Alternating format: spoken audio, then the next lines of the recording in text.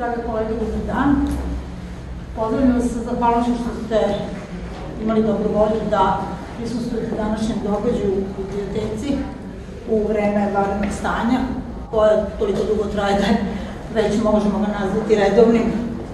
Imamo neku obavezu da se njemu prilagodimo. Kao mi je napamet, kad sam ovo razmišljala o ovome, kao mi je napamet naš pesnik Aca Sekulić koji je pre više decenija u nekom specifičnom raspoloženju i situaciji uzviknuo neću da se navikavam na okolnosti, neke se okolnosti navikavaju na mene. Koliko god to delovalo sad pesnički razbarušeno i prilično iracionalno i ovaj, čini mi se da ovo naše ludo vreme možemo da malo iskoristimo tu njegovu misao, da se odupremo znači vremenu, da se na neki način prilagodimo tako što ćemo vreme prilagoditi nama, a to ćemo učiniti tako što zadržimo neke naše navike, rituale, kulturne obrazce koji će nam pomoći da preživimo, da rasteramo strah, ne samo vedrinu u svoj život. Tako da mislim da ćete se složiti sa mnom da ovakve prilike, kao što je ova današnja, mogu da predstavljaju jedan način da se odupremo toj, kako bih rekla, tom teroru nove normalnosti. Namerno koristim tu prilično besmislenu i bezveznu frazu, ko valjda treba da malo pokrpi i na neki način kamuflira praznine koje nastaju u životu kad se odreknemo onoga na što smo navikli, znači onoga na što smo navikli u našem svakodnevnom, ali i poslovnom i kulturnom životu. Mislim da ćete se to složiti sa mnom, da je naše okupljanje, znači u broju koji je manje nego obično i u, na, na, na način da smo poštovali sve i da poštujemo sve, da se još malo odmaknem, znači mere epidemiološke, da će proteći u najboljem redu i da će nam doneti neko dobro, neku radost, da se malo prisetimo pisaca kojima smo posvetili ovu današnju izložbu. U stvari, ona je priređena u časti jubileja, to je 200 godina od rođenja velikana francuske književnosti Charles Baudelaire i Gustava Flaubera. I mi dugujemo neizmernu zahvalnost profesorom Filoškog fakulteta u Beogradu, uh, dr. Adriani Marčević, dr. Vesni Elez i dr. Mirjec Civi Naverković, koje su uh, stvarno pokazali dobru volju i ljubaznost da učestvuju na otvaranju u ovim, rekla bih, ipak neredovnim okolnostima. Pre nego što vam se ona obrate, uh, vama će pozdravnu reč uputiti direktor Universke biblioteke, profesor Aleksandar Itakov.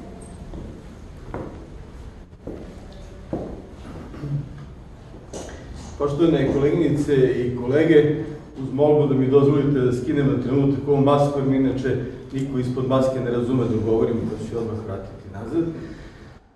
Dragi moje prijateljice i koleginice i dragi moje saborkinje i prijateljice takođe iz ovog bibliotečkog života, Uz najljepše reči pohvale pre svega za koleginice iz odeljenja nabavke koji u nizu, već evo i u mom slučaju skoro 10 godina prave izložbe koja jedna drugu pretiče, jedna druga je lepše osmišljena, sadržajna, zahvatna, u kojima se svetska književnost i filozofija dočaravaju u jednom, jednom i drugom nepretreno naklonjenom vremenu, uz te komplimente i uz jednu ocenu za koju se osjećam više nego ovlašćenom da kažem da su to katalozi kojima bi se podičili svetske evropske izdavačke kuće koje su nastale u ovom projektu. Sad ih ima evo 17, znači uskoro će biti 20 na naše veliko zadovoljstvo.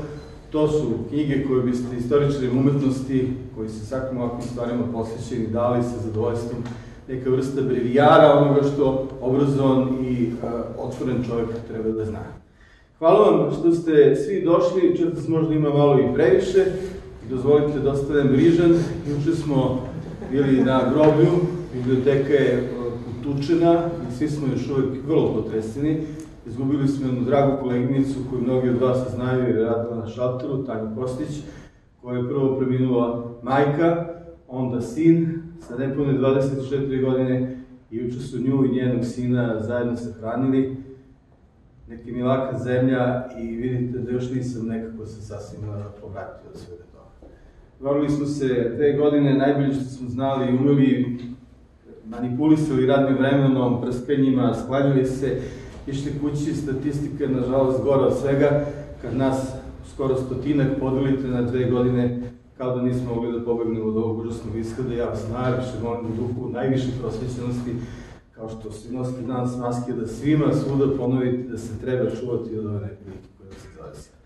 Vama najlepše hvala što ste došli, kažete neku reč o dva pisca koji su prelomili sliku 19. veka. I mene je stid i sram da pred vrhunskim e, frankofonim koleginicama nešto sad ovde mucam i govorim, ali sam uzmeđu ostalog pročitao uglavnom sve što ste napisali Prusta, Ženeta, Flaubera, Baudelaire, od one naše rane knjige, moje drage Milice, pa nadalje istraživanja. Ili se pritom, ako sve mi to da napomenem, naša treća generacija vinavera u ovoj biblioteci, čiji jedan deo i duha i postojanja mora biti vezan za vinavera i to ću shvatiti kao sobstvenu misiju, da to svaki put kažem, pa nek mi ona prete.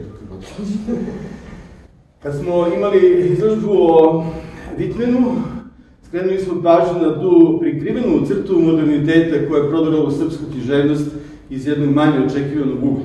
Ali ova crta moderniteta koja je sredinom 19. veka utvrđena u srpskoj književnosti od Ulera i Flaubera, ona je magistralnom linijom uticala na formiranje srpske književnosti i srpske kulture u našem smislu reči. To pitanje statusa postromantizma ili predsimbolizma ili simbolizma, već zaista kako ko hoće to da kaže sa kojom merom navijanja za simbolizam, to dakle pitanje na koji način je dakle bogata a, interkulturalna transmisija tog delovanja srpske književnosti išla i danas je živo i otvoreno pitanje srpske literature. I profesor Konovaković, kada mu učinila čast da, da bude danas sa nama, je skrenula više puta pažnju dakle, na to kako neki od uvreženih mišljenja o tome kako je simbolizam u srpskoj književnosti već u 1903. 4. 7. kako hoćete da pogađamo godine, odjeknuo zapravo pomalo preteran i preran i da je ova vrsta izvora ne samo 50 godina kasnije, nego dozvolite mi da na brzinu računam sa vama, recimo 100 godina kasnije, još uvek stavila pečat na književnu imaginaciju naših poznih modernista početkom 50. godina. To kada vidite kako izgleda susret između jednog Miodraga Pavlovića i francuske literature u rasponu od Bolera do Malarmea, vama postaje jasno šta je sve trebalo u odgovoru na to pitanje reći. Poneko istraživanje koje smo tome dobili ili u Bori Radoviću svedoči o tome kako je najvitalnija crta srpske pesničkog uh, uma i stvaralaštva imala dakle, ovu dimenziju. Ako sam dozvolio sebi da nešto frfljamo Andriću uz uh, uh, Vitmena, dopustite mi da još pomenim i ovo, dakle da se Flaubert u Dnevniku Čarneviću i u Crljanskom upisao samo srce e, onoga što je najbolji modernizam koji srpski književnost ima. I kao klinac nisam bio samo impresioniran onim dvema glavama odrubljenim u Bodlerovom e, spomen e, domu i nisam bio samo zaprepašten do ovog brkatu čudovište može biti najlepši mladić svoga vremena, kako su ga opisivali i doživljavali, pitajući se šta se dogodilo u spoznajnom smislu sa ovim čovekom, dakle da je epigenetski takav jedan strašni, razvarušeni lik, a za one koji su više duhoviti mogli bi, kaže, kao onaj druid iz Obelixa, ili tako da se našalimo, da ne budemo baš suviše strogi. A kad stavite ovako Vodlera i Flaubera, što se slika iz francuskih muzeja ili iz kultura, i dodajte, ako baš hoćete, i onog jezivog Balzaka, pomislite šta je, ili možete Voltera, takođe, dakle, strašni likovi francuske kulture. No, osim toga, trčao sam da vidim gde je Pont Neuf, da vidim, dakle, gde je taj most na kom sam se borio i ja, i proveo jedan divan dan na tom mostu, mislići se sam sa sobom kako je jedini novi most, u stvari najstariji most koji je ostao svega toga i zašto, koja sila ljude tera da sa tog mesta kažu svoju poslednju reč o životu koji tamo treba živeti. Ako vam kažem da sam jedno dočekao da me nekim čudom ovaj, pipnu samo hoću li u decembru u Pariz i to me dodao 10 dana, tako da kroz 15 dana bežim od svih vas i idem da opet malo uživam, ako mogu, tamo i da sam našao neki sitan hotel baš pored Pont Neufa, da tu budem sve vreme, da gledam u njega i onda povežite to sa ovim ukupnim raspoloženjem koje sam pokušao da dočaram na početku ovog govora i da sa tom i takvom raspoloženju odupremo horizontom znanja akademskog života u kojem najlepše zahvaljujem našim koleginicama i svima vama, našim više nego uglednim gostima koji su danas ovde sa nama, što ste se okupili da se odupremo ovoj vrsti mentalne destabilizacije koje smo izloženi, nažalost, ne samo politički, na što smo možda i navikli. Hvala vam najviše. Mi smo se dogovorili da raspravu bude tako da prvo govori profesor dr. Adriana Da se...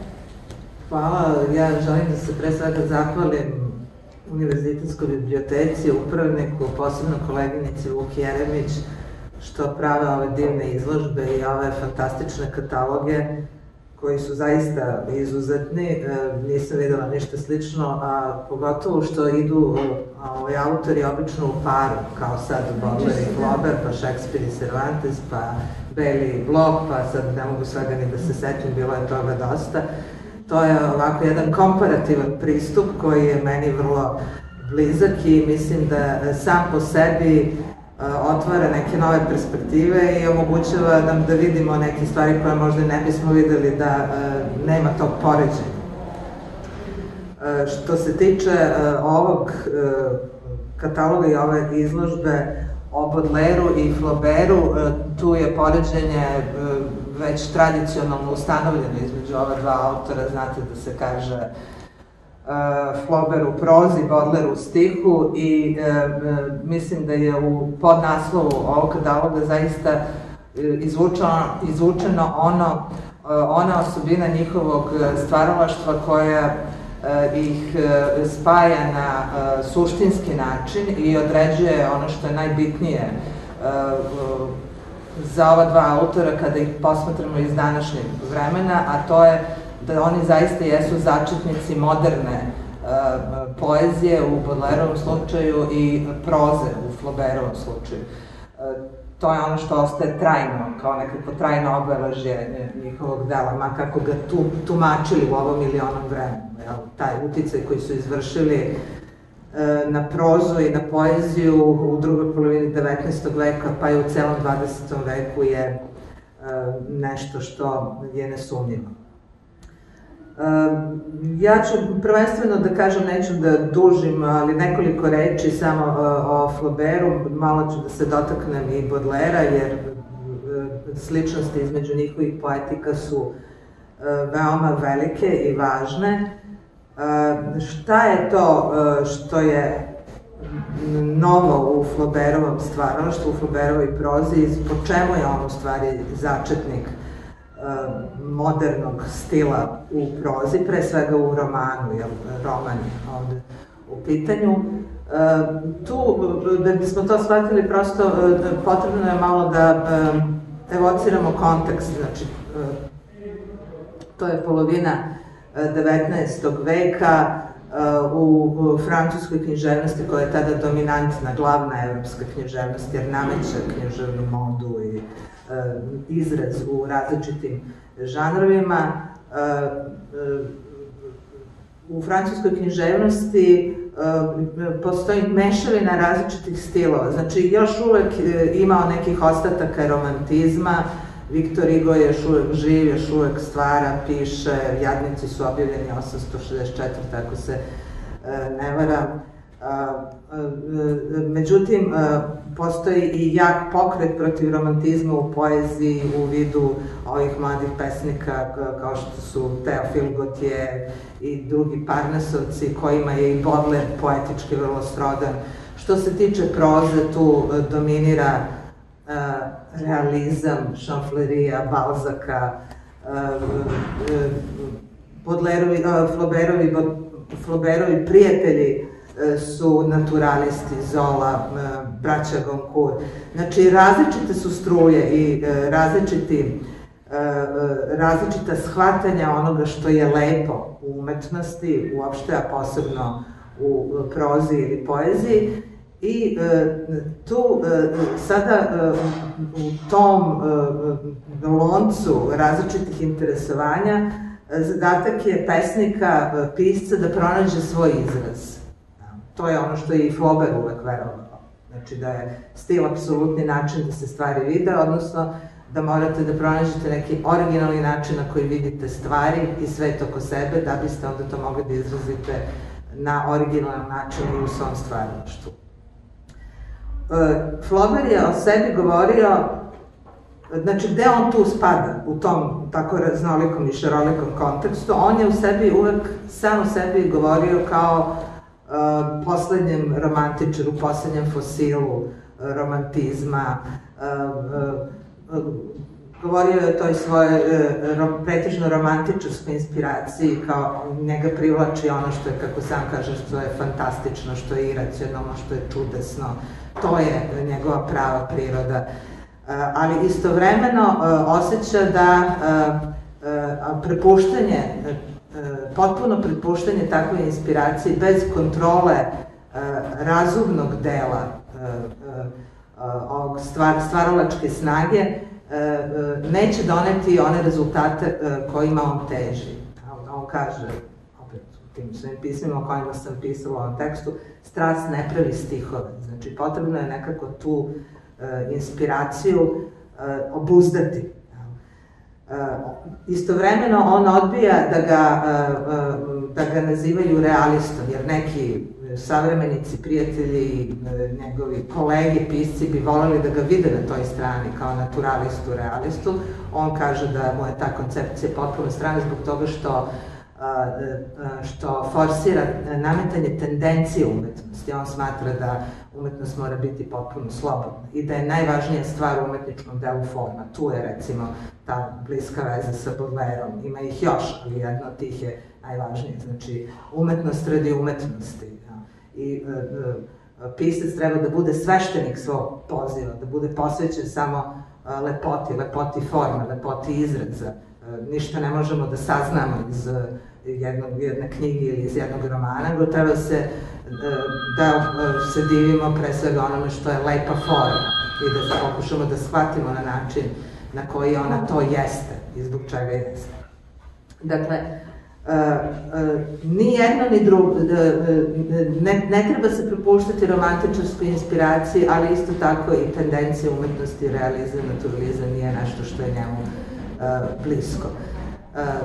Vrlo rano su kritičari i pisci, savremenici Flaubertovi počeli da, da prepoznaju ove strane njegovog talenta, recimo Emil Farge, pa Henry James. James je zanimljiv, jer pripada jednoj drugčoj tradiciji, ali na isti način doživljava umetnost i zadatak pisca. On kaže u Flaubertovoj ličnosti, mislim na Henrya Jamesa, u, u Flaubertovoj ličnosti e, postoje dve strane.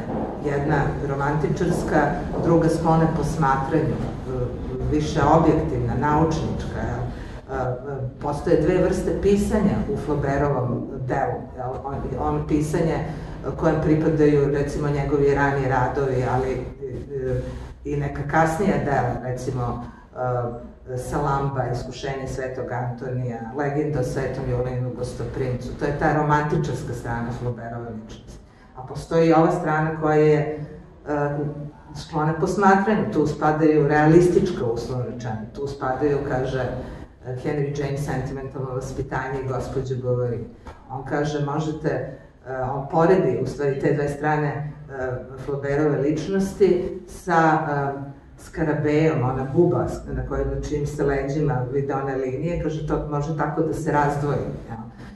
Danas kad gledate sa dan, iz današnje perspektive i sa ove distance vidite da u stvari e, nije tako lako razdvojiti potpuno te dve vrste Flaubertov pisanja u njegovim delima, jer i u onim delima kao, koja važe za realistička, uslovno rečeno, kao što su sentimentalno vaspitanje ili gospođe Bovary, postoje neki elementi ove e, romantičarske inspiracije, pre svega u toj fascinaciji smrću, e, zatim načinu na koji doživljava lepo, estetika je sasvim specifična u e, Flaubertovim romanima, tome ću da kažem nešto e, malo kasnije, ali ova uh, težnja Flaubertova, znači, je bila da uh, pronađe originalan izraz i da to bude nešto novo u formi. Da, da napravi jednu novu vrstu proze koja će biti savršena po formi i koja će imati, kako on govorio, čvrstinu stiha ali to se ne može uraditi, tako je on razmišljao, ako se čovjek potpuno prepusti onom što mu je najbliže, što je njegova osnovna inspiracija, evo ta, to čudesno, iracionalno, orijent i tako. Nego to treba nekako zauzdati. I onda je on došao na ideju da uzme jednu temu koja mu nije privlačna.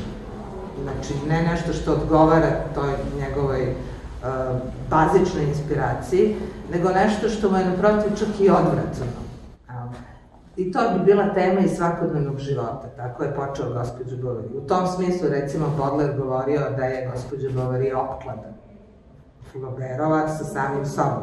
A, oplada u smislu da će napraviti jedno umetničko delo, vredno, lepo, uspelo, a, a, a, služeći se jednom temom koja je skroz neprivlačna, koja u sebi nema nikakve umetničke vrednosti ni umetničke lepote. Šta može biti poetično? Nema poezije u životu, u svakodnevnom životu u francuskoj provinciji.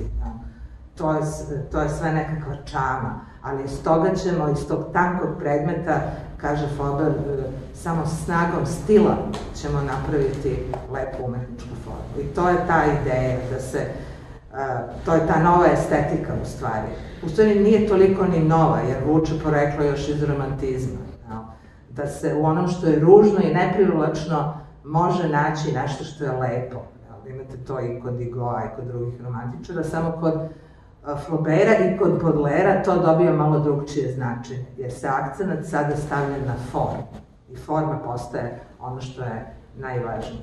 I to je ono što je u stvari u, u prozi e, e, e, donelo jednu ogromnu inovaciju. To je insistiranje na formi u prozi.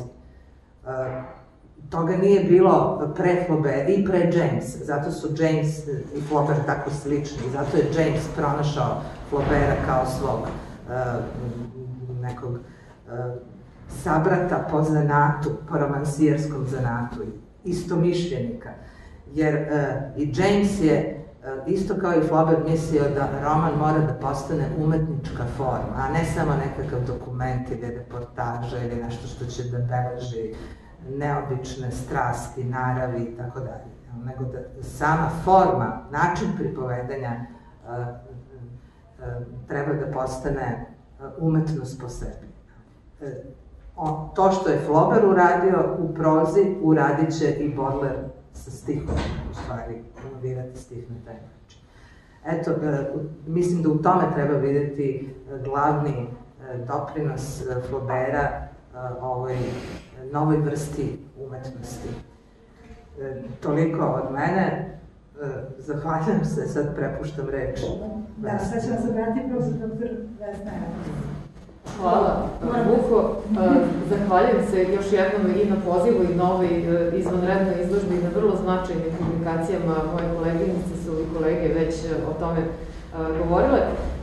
Tako da smatram da je i zadovoljstvo i čast, a i za mene koristim priliku da na bilo koji način, ako mogu, odam počast dvojici velikih francuskih i e, ne samo velikana, ne samo francuske književnosti, evropske i svetske književnosti, koji su istovremeno, svoje vremeno e, smatrani svojevrsnim disidentima. Ja ću se nadovezati e, na izlaganje koleginice Mačetić, tako što će vam reći nekoliko reči o njihovoj, odnosno o njihovim sudbinama i o svim nevoljama kojima su bili izloženi baš zbog toga što su želeli da po svaku cenu stanu iza uh, nove umetnosti, odnosno upravo ovakve umetnosti uh, kako je uh, kolegica Mačetić definisala. Dakle, pokušati napisati, odnosno napisati i pesničko i uh, delo u prozi koje će počivati, kako kaže Flaubert, na snazi sobstvenog stila. Jel? O tome Flaubert govori u čuvenom pismu koje mnogi citiraju, ključići Jean Rousseau, jel? da je njegov san da napiše knjigu ni koja bi se zaista držala samo isključivo snagom sobstvenog stila. I te intrinsične vrednosti, ta, u stvari, imanentna poetika, jeste bila uh, njihova ideja vodilja i kult stila i za jednog i za drugog, a ja ću vam sada reći kako je to izgledalo u praksi. Dakle, nimalo veselo i kao što znate, 1857. godina, godina uh, koja je ušla uh, u to stvari crna godina francuske kulturne istorije, dakle isti čovek, tužilac Ernest Binar, je bio, odnosno optužio i Bodlera i Flaubera gotovo po istom osnovu, u stvari u januaru mesecu i u januaru i februaru bilo je Flauberovo suđenje, a kasnije tog istog leta 1857. godine u augustu samo jedno saslušanje, gde je Bodleru odmah i izrečena presuda, obeležilo je bitku za modernost. Jel? Dakle, zaista 1857. godina jeste bitka za modernost i ova dva sudska procesa, jedan protiv Gistava Flaubera zbog njegovog romana Gospodje Bovri, koje je po mišljenju pravosuđa vređalo i javni moral i religiju i zbog toga mu se imalo suditi. I naravno Flaubert je bio zatečen, nije očekivao da će ga baš pozvati na sud, iako je on mogao da nasluti da će reakcija javnosti biti prilično burna, pošto je pre nego što je objavljen u celini roman Gospodje Bovary izlazi u nastavcima u časopisu Revue Paris, odnosno Parijskoj reviji, čiji je tada glavni odgovorni urednik bio Flaubertov i saputnik i prijatelj Maksim Dikan, Faktički, Parijska revija je bila bastion opozicije, u stvari uh, režim Napoleona III, odnosno režim takozvanog uh, drugog francuskog carstva, je počivao na prilično konzervativnoj politici i na vrlo jakom policijskom aparatu. Cenzura je bila na snazi i cenzori su vrebali priliku ne samo da ulove ono što zaista vređa javni moral, nego da što lakše, ako se to ikako može, ugroze i ugase Parijsku reviju. Baudelaire je to naslutio i on je čitocima i rekao, u stvari, pošto su mu Maksim Dikan je morao da prihvati, odnosno izložio je Flaubertu prinudu da neke delove gospođe Bovary, romana gospođe Bovary, skrati ili ispaci, baš zato što su smatrani provokativnim, skarednim i u tom smislu uh, zaista predstavljali po mišljenju javnog mjenja, jel, uvredu uh, javnog morala i religije. Flaubert uh, ne želi jel, na to da pristane i kaže, upućuje pismo u kojem obaveštava čitaoce da ono što će biti objavljeno u Parijskoj reviji ne treba smatrati romanom u celini, već samo fragmentima. Tu već vidimo koliko Flaubert u stvari drži do celovitosti svog sobstvenog dela i do celovitosti romana, do celovitosti umetničkog dela, jer dakle ta organicistička koncepcija po kojoj ne možemo menjati deo, a da ne poremetimo celinu, jeste vrlo važna i ona je dokaz te njegove nove estetike. I na tom suđenju, treba odmah reći, Flaubert je mnogo bolje prošao od Baudelaire. Flaubert je dobio oslobađajuću presudu u velikoj meri zahvaljujući agitovanju njegovog izvanrednog branioca, advokata Senara i u znak zahvalnosti Flaubert mu je posvetio gospođu Bovary kada je objavio roman kod izdavača Michel Levija i zaista zahvaljujući i njegovim uh, i advokatskim, i političkim, i poznanstvima, uh, vezama, iskustvu, uh, scenarije apsolutno fantastično branio Flaubera i Flauberovo najznačajnije stilsko sredstvo, doživljeni govor, upravo je advokatu Senaru, dakle tu možemo da vidimo suštinska ambivalencija, odnosno suštinska dvojakost jel, e, doživljenog govora kao stilskog sredstva, da imamo samo jedan iskaz u trećem licu jednine, jel, koji možemo jednako pripisati i pripovedaču, a možemo ga pripisati e, i junaku, poslužio je kao uporište scenaru da u stvari pokaže i dokaže da Flaubert nije imao nameru da uh, sudbinu jedne preljubnice prikaže kao uzornu sudbinu, niti e, da glorifikuje, niti da preporuči sve ono što se smatra štetnim. Jel? I koliko je to u stvari, e, u stvari bilo važno. Već, e, kao što je Adriana Mačetić već istakla, Baudelaire prikaz gospođe Bovary, po mom mišljenju i dan danas najbolje recenzije tog romana, gde Baudelaire primećuje suštinske odlike gospođe Bovary. Koje su to suštinske odlike? To su, kako on kaže, e, liričnost i ironija. Ali, pored toga, i odsustvo, i to je najvažnije uporište, upravo simptom apsolutno nove umetnosti, odsustvo glasa koji u stvari predstavlja moralni vodič za samog čitaoca, odnosno pripovedač koji čitaocu govori, sugeriše kako treba čitati, shvatiti sam roman. Dakle, odsustvo takvog glasa je za uh, za Flovera, odnosno i za Bodlera je to suštinska vrednost i kaže njih dvojica su bili prijatelji i upoznali se, verovatno ih je Teofil Gotije upoznao upravo pre ovog uh, Floberovog skandala, Baudelaire je naravno znao uh, šta se desilo i kako je uh, samo suđenje samo suđenje teklo, nije verovatno očekivao da se i njemu sprema sličan, stvari još gori scenario, ali ovaj prikaz uh, koji je izašao dakle, u oktobru 1857. godine u časopisu L'Artiste je u stvari sinteza dve borbe i Flauberove uh, i Baudelaireove i koje jasno ukazuje na osnovne odlike, dakle zaista suštinski uh, nove proze za Flaubera i vidjet ćemo nove poezije za Baudelaire. Zašto kažem da su njihove neprilike tada već bile očigledne? Zato što i jedan i drugi, kao što znate, imali su odnosno njihovi životi e, nama danas e, izgledaju egzemplarni, e, neponovljivi, neverovatni i tako dalje, a oni su suštinski bili veoma neprijatni. Dakle, i jedan i drugi, pored toga što su želeli po svaku cenu da, u stvari, šokiraju buržuje, pa te buržua, odnosno da iznenade građanina i njegov moral, njegove svetonazore, jel, i da na svojevrstan način jel, udare šamar tadašnjem uh, društvenom i svakom, svakom drugom ukusu. U toj nameri su svakako uspeli, ali su jedan i drugi bolovali od sifilisa. Uh, Flaubert je pored toga imao bolovao od specifičnog vida epilepsije, koji nije bio propraćen najkarakterističnijim epileptičnim napadima, ali i on jasno osjećao simptome koji su bili vrlo neprijatni, koji su ga dražili, koji su predstavljali u stvari jednu, jednu vrstu pravi krize, koju je on sam sam morao da obuzda. Baudelaire koji, kao što znate, vrlo rano ostaje bez oca, nikada ne prihvata očuha Žaka Opika, nametnut mu je tutor dok nije došao do očevog nasledstva, a i kasnije su ga stalno ograničavali. Uvek mu je nedostajalo novca, bežao je od poverilaca, kažem, bolov od sifilisa koji će se kasnije zato što prvo zato što nije bilo načina e, da se spreči, da se leči, odnosno da se adekvatno izleči u podmokloj fazi sifilisa Bodlerova e, hemiplegija, dakle delimična oduzetost i afazija, to su posledice u stvari e, podmoklog stadijuma sifilisa. On se nažalost ugasio vrlo rano, 46. godini upravo zbog ovakvih zdravstvenih problema. Samo da vam odgovorim, Saša, zašto ovaj, ovaj nekada tako lep mladić izgleda uh, drugčije uh, u zrelijim godinama upravo zbog sifilisa i zbog epilepsije. Uh, Flaubert je inače morao, uh, odnosno uzimao i određene tretmane živu zbog kojeg su mu ispadali zubi i tako dalje. Inače, on kad je shvatio na, na istoku da je dobio sifilis, citirao je odmah jednu dušebrižničku građansku izreku nema ništa bolje za zdravlje putovanja.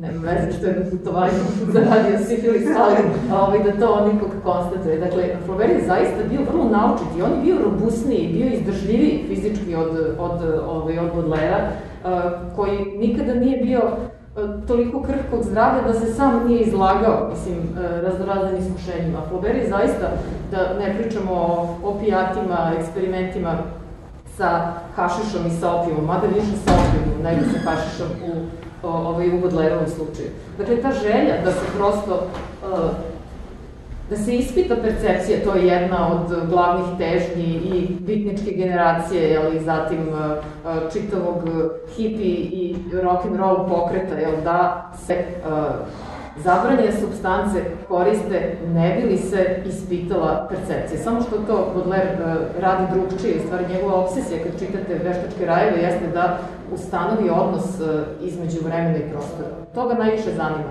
Jer siroti Baudelaire je bio toliko nesrećan odnosno ima, nije imao, e, ima tu nesreću da samo svest nije mogla da ga napusti čak ni pod dejstvom hašiša i opijuma. Dakle, on je uvek bio apsolutno svestan i svojih percepcija i svojih reakcija, a Flaubert se čuvao opijata i priznao je Baudelaire da, ovaj, da ga to plaši, mada ima apodekar uh, njegov uh, sprema odličan, pravi odličan hašiš, pošto se hašiš nije uzimao uh, u samo hašiš, jel, već se sad da vas time na opterećenju pravila jedna vrsta mešavine koja je mogla na različite načine se uzima i tako dalje.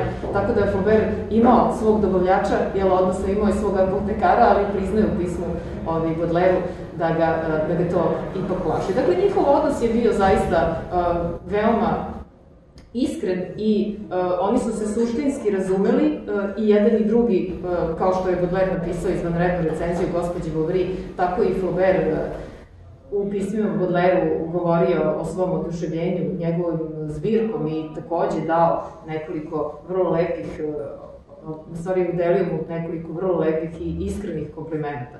S druge strane, oni su i na strani umetnosti pre svega bili saborci, dakle, oni su se apsolutno prepoznali i uh, zajednički se trudili da tu suštinski novu umetnost uh, nametnu i da uh, to postane nova paradigma. To nije bilo nimalo lako i ova dva procesa upravo su dokaz te muke da se ono što se smatra novim, pravim dakle pravim stilom, pravim odnosom prema formi uh, i umetničkom stvarnju, uh, ne nametne po svaku cenu, nego uspostavi kao paradigma.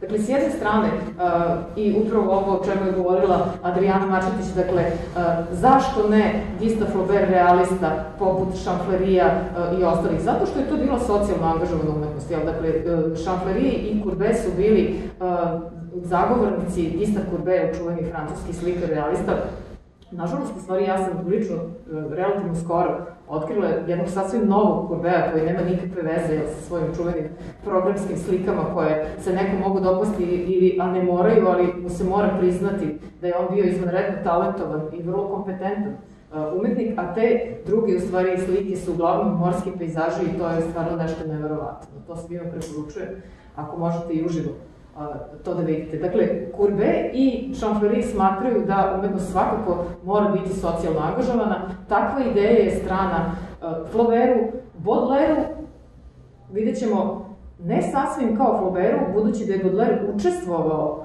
u stvari na 48. Jel, pucao na barikadama i zanosio se jel, vrlo kratko dok nije potpuno izgubio svaku političku iluziju, ili potpuno se, ako tako mogu da kažem, preobratio, jel? Dakle, uh, i jedan i drugi uh, su prešli, odnosno težak put da novu estetiku uspostave kao novu estetičku paradigmu, ali njihovi životi, kažem, i njihove sudbine nisu bile sasvim iste. Uh, naglašavam da je mnogo gore u stvari prošao Baudelaire posle suđenja gde je morao da plati novčanu kaznu i da izbaci šest pesama iz Sveće zla. Paradoksalno, to se dokazalo kao i pokazalo kao vrlo plasticajno, jer je drugo izdanje iz 1861. godine donelo novi ciklus parijske slike, to je jedan od najljepših i ključnih evo, Bodlerovih ciklusa. Taj ciklus njega legitimiše u stvari kao prvog urbanog pravog urbanog pesnika, pravog pesnika Pariza uh, i tako dalje. Dakle, suđenje u tom smislu imalo i, ako tako mogu da kažem, posredno uh, dobar efekt uh, na, na kasniju književnost i na kasniju poeziju i, kažem, i na samo Bodlerovo stvaralaštvo. Bodlerov život je bio teži nego Flauberov, dakle Flauber je, kao što smo videli i na suđenju, imao mnogo više i moćnih poznanika i prijateljstava koje su mu pomogla da se njegov porodični ugled, dakle on je bio sin velikog i poznatog normandijskog lekara, hirurga, njegov otac je bio jedan od najčuvenijih hirurga svog vremena i vrlo ugledna porodica, dakle njegov Flauberov brata Šil koji je nasledio oca, to je, bila jedna, to je takođe bilo jedno od uporišta Flauberove odbrane, jel, da on nije bilo ko i da se ne može tek tako napasti uh, neko ko uh, u stvari, ko je napisao roman poput uh, Gospodje Bovary, zahvaljujući, kažem, pre svega izvanrednoj odbrani uh, Flauberovog advokata, Flauberova u stvari Flauberov proces je postao svojevrsna reklama za roman uh, koji se pojavio, dok je Bodlerova uh, pozicija uh, bila mnogo nepovoljnija, posle suđenja cveću zla, on je prosto ekskomuniciran jel, iz određenih književnih krugova, nije pozivan tamo gde bi trebalo da bude pozivan i njegovo materijalno stanje i, kažem, uopšte njegova svakodnevnica bili su mnogo neprijatniji uh, od, uh, od Fulberovih. I faktički ta suštinska podvojenost, taj suštinski rascep modernog uh, pisca i modernog umetnika, Baudelaire je tako da kažem, više iskusio i zaista taj teret podneo više nego Flaubert? Baš zato što je na svojoj koži osetio kako to izgleda i posle suđenja i kasnije kako na, izgleda u stvari nositi to breme umetnika i pesnika koji se ne pokorava uh, ni jednoj književnoj školi, ni jednom književnom ukusu, već verujući ne pogreši svoj, pre svega ne pogreši umetnički ukus koji je pokazao i pre nego što se pojavilo prvo izdanje Cveće zla u svojim likovnim kritikama, je veliki ljubitelj slikarstva i vajarstva, izvanredan poznavalac. Dakle, Baudelaire je bez ikakve zadrške znao da stvara sasvim novu i izvanrednu poeziju, čak u svojim pismama i govore, kada piše upravo najvrednije i najlepše pesme iz ciklusa Parijske slike, potpuno suvereno je veruje u, u sobstvenu poeziju. Kažem, njih dvojica su ima, njihovi životi upravo i zbog ova dva sudska procesa nisu bili laki, ali su sa druge strane bez obzira i uprkos silnim neprijatnostima koji, kojima su bili izloženi pa gotovo do kraja života, naročito Baudelaire, kao što znamo, Flaubert je duže živeo upravo zbog ove i fizičke konstitucije, je li bio prosto i otporniji i ovaj, izdržljiviji od samog Baudelaire i u ostalom sam Sifilis je sasvim drugačiji, očigledno manje štetno je razvio i manifestovao Kod Flaubera, Flaubert je umro od apopleksije, odnosno od izliva krvi u mozak, a nije ni čudo kad vidimo šta je sve pročitao za Buvara i Pekišea, čovek se pita kako je uopšte mogao ostati živ. Dakle, to je njegov nedovršeni poslovno objavljeni roman, koji takođe izazvao veliki šok je kada se pojavio. I svaki Flaubertov roman, kada se pojavio, jel, reakcije su, iako je bilo uvek njegovih pristalica i prijatelja koji su prepoznavali i priznavali nove novu njegovu novu umetnost, odnosno pre, prepoznavali i priznavali sve te, sve te književne vrednosti, prave književne vrednosti, uglavnom su reakcije bile podeljene i uh, Flaubert često uh, nije bio uh, adekvatno uh, ni tumačen, a u stvari nisu ga na pravi način uh, ni razumeli. Međutim, Baudelaire i tu gore prošao, evo, dakle, njega savremenici uopšte nisu uh, shvatili, odnosno njegova slava je sva posthumna. Dakle, počinje tek sa trećim izdanjem Cveće zla sa Gotijevim predgovorom i, kažem, nažalost, Baudelaire postaje veliki, veliki, najveći moderni pesnik uh, tek posle smrti. Toliko od mene. Najlepše, zaboravila sam da kažem da se u okviru ove publikacije uh, nalaze tekstovi od Janja Načistić i Vesna Elez, a takođe profesora Leona Koena, koji nije bio sprečen danas da dođe, planili smo da i on govori, tako da sam zahvalna još jedan što su priložili i dali posebno visok akademski nivo ove publikacije sa ta tri rada, a sada će nas obratiti uh, profesorka Milica Vinaretović koja je napisala recenziju i je hvala, a pogotovo što na taj način i katedra za romanistiku kod su ovi ostali sa svetskih književnosti učestvovala na meni dragocen način u ovom projektu. Izvolite. Hvala. E, ja bih htela da zahvalim e, najpre našoj vrednoj, savesnoj, neumornoj kulturnoj poslanici Vuki Jeremić, koja e, već godinama, već godinama, dakle ova edicija postoje 2010. i ona već godinama daruje našu kulturnu sredinu ovim neverovatnim knjigama.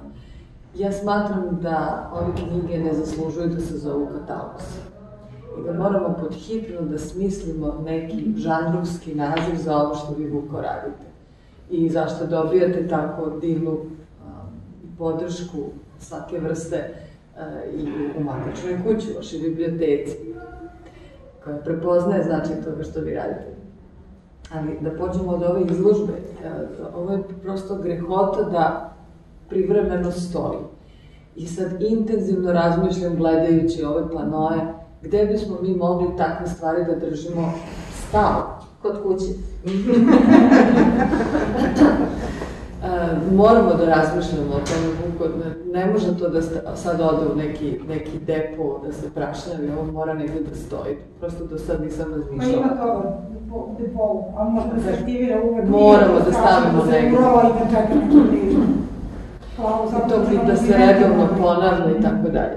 Dakle, e, ovo nije katalog, e, ovo je jedna vrlo koncizna, šarena knjiga, šarena naravno pod navodnicima, koja e, ima naglašeno ego-edukativnu nameru. Dakle, to je jedan uvod, kao što je već rečeno, čitanja ova dva autora, ali u, sa željom da se uporedo prati njihovo stvaralaštvo, da se kontekstualizuje ne samo u kulturnom, nego i u širem istorijskom političkom kontekstu. Um, E, tako da ona ima neke, ova knjiga ima rubrike koje omogućavaju prosto postepeno da se uđe u, u stvaralaštvo i u recepciju ova dva autora. Um, tako da je, na, tu su karakteristični odlomci književnih i autopoetičkih tekstova ove dvojice pisaca, a opet imamo uporedo kao ilustracije njihove portrete iz raznih životnih doba. To je toliko zanimljivo da se čita, toliko to a, a, daje nekome ko, ko prvi put se susreće s njihovim delom, pa čak i oni ko, ko ih dobro zna, a, jednu novu, novu dimenziju, jednu prijatnost. A, što ne znači da, da mislim da, da je ovaj, ja prosto hoću da kažem da imanentni pristup e, u recepciji apsolutno nije dovoljan, ne treba biografizam i kontekstualizacija da bude sve, ali tu dimenziju ne smemo da zaboravljamo i zbog toga mislim da smo toliko zahvalni na ovo što ste uradili. Dakle, onda su tu odobrena mesta i stranih i domaćih, i to najmerodavnijih kritika. Tu su ogledi naše tri vrsna tumača, profesora književnosti, dakle, Romijana Mačetić, profesora Kojena, koji danas nije sa nama, i Vesna Elez. Tu su mnogobrojne ilustracije i naslovne strane Godlerovih i Fluberovih knjiga, popis korisnih linkova na internetu, te pregled ogromne literature o Godleru i Fluberu kojima raspolože ova biblioteka, a ta je pregled dat na kompaktismu. Dakle, to je a, najbolja preporuka za ovu, za ovu publikaciju, a, kako za srednjoškolce, tako i za studente ovakav didaktički žan, ovakav tip publikacije u svetu postoji, u Francuskoj i u, na, na području se to pravi, ali to nije nešto što ćete imati priliku besplatno da dobijete u, u nacionalnoj ili univerzitetskoj biblioteci, nego to je nešto što se razgrabi, što svima treba. Moramo da razmislimo i imenu žanra i i o široj promociji ovoga, ovo je stvarno izuzetno dragoceno. E sad, um, tu je najpre sasvim ovlašan uvod u složen istorijat Bodlerovih Loberove kritičke recepcije i tu su upečatljivi izabrani sudovi pisaca i kritičara o njima od Verlaina, Remboa i Zole do Sartra, Barta i Deride. Potom se nižu Bodlerove i Floberove misle o književnosti i umetnosti, znalački odabrane, tako da rezimiraju njihove poetike i pokažu uzemno saglasje Zatim tu su opširni iznati stavovi dva pisca o sobstvenoj i knjizi onog drugog, dakle reč o Cveću zla i gospođu Boveri. Sledeći odeljak sprovodi kontekstualizovanje opusa, kao što sam malo pre rekla, tako da su ti njihovi paralelni životopusi dopunjeni pregledom kulturnih i političkih zbivanja u Francuskoj i Evropi toga doba. I taj se dolazimo do reprezentativnog izbora pesama iz Cveća zla i Parijskog splina, u najlepšim značajnim prevodima na naš jezik. Tako da dobijemo jedan omaž srpskim prevodiocima Bodlera, od Božidara Kovačevića, Branimira Živojinovića, Danila Kiša, Borislava Radovića, Bertolina, Lalića, Danojlića, pa do Leona Koena.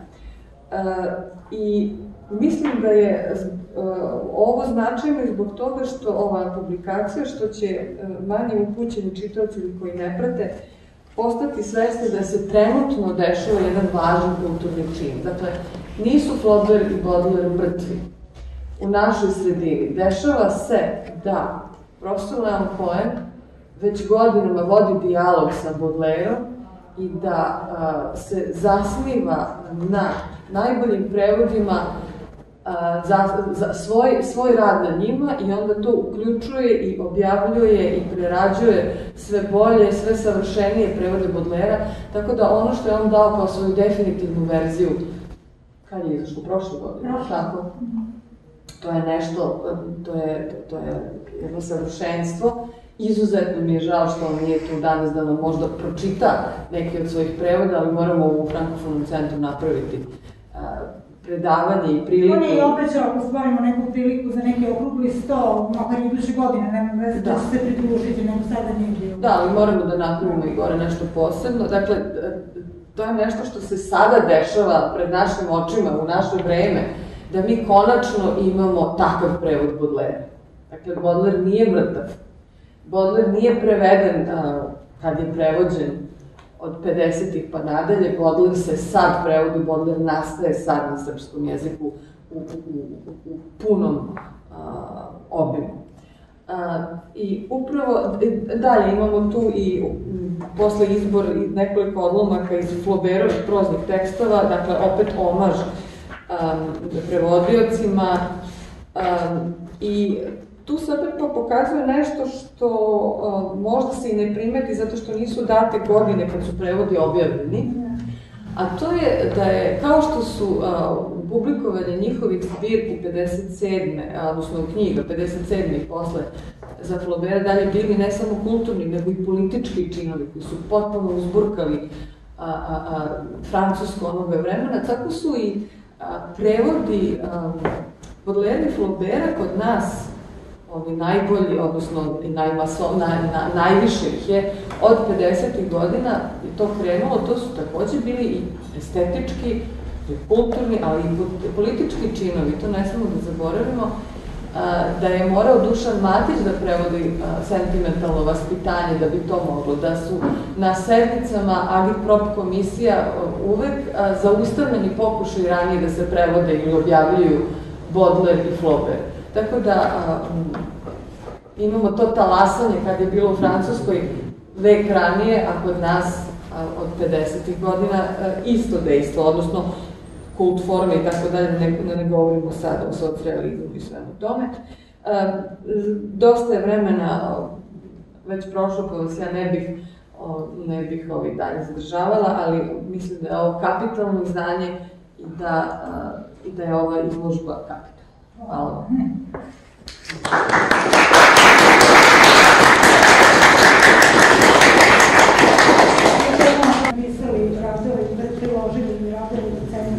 zadovoljstvo. Pošto ste me ovako ohrabrili, mada to već sam biti kraju i pripremiti, tako da ohrabrili. Još dve, dva, tri puta po doviđenja.